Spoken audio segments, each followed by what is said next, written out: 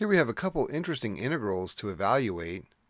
Part A says the integral from e squared to e cubed of dx over x natural log x natural log squared of natural log x.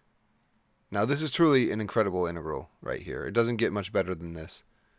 Now our goal in an integral like this is to find some u or some f of u and u prime good enough so that we essentially gobble up the whole function with our f of u and u primes um, and leaving nothing left but maybe a, maybe a constant, right? So we want to find a way to get all the x's into our u's here.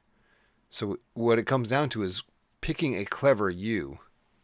The first thing I'll do, and you get better at this with experience, so keep practicing these until eventually these will really start jumping out at you. First note that natural log squared of x, we don't see that notation very often, but it's used the same way that we'd use something like sine squared x. So I'm going to I'm going to like just scribble this out. And just to be very clear on what this means, that means that this whole thing here is squared down here. So this means that natural log of natural log x is all squared. So we just need to pick a clever u so that our du is also inside the integral it might be off by a constant or something here and there. Can you spot it? Maybe pause the video for a second and see if you can figure out what to choose for u. Okay, what if we let u be, how about natural log of natural log of x? Then du is 1 over natural log of x times the derivative of the inside, that's the chain rule, times 1 over x dx, which is exactly what we have here, right? Check this out, dx over x natural log x. So that whole thing becomes our du. So what we're looking at here is the integral, and we'll work on the limits of integration in a sec here, but what we really have here is du over u squared.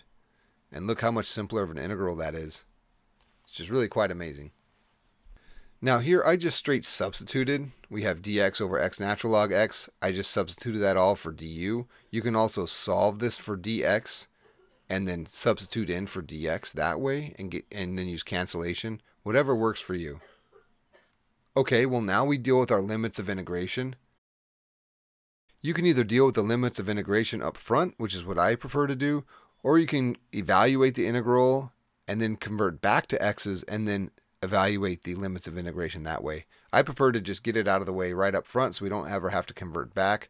So I'll do u of e squared for our lower limit of integration. Well, that's natural log of natural log of e squared. Well, natural log of e squared is 2, so this whole thing just comes to natural log of 2. Similarly, for our upper limit of integration, we have u of e cubed well, that's natural log of natural log of e cubed. Well, of course, this e, this cubed part comes down to the front here, and the natural log of e is 1, so we are left with natural log of e. Thus, our integral goes from natural log 2 to natural log of 3 du over u squared. Well, this is u to the negative 2. Remember, we add 1 and divide. So this becomes u to the negative 1 over negative 1, evaluated from natural log of 2 to natural log of 3.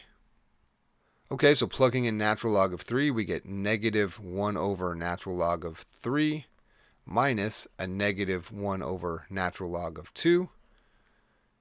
Rearranging things a little bit, 1 over natural log of 2 minus 1 over natural log of 3. All right, so that came out pretty nice. Okay, let's look at part B.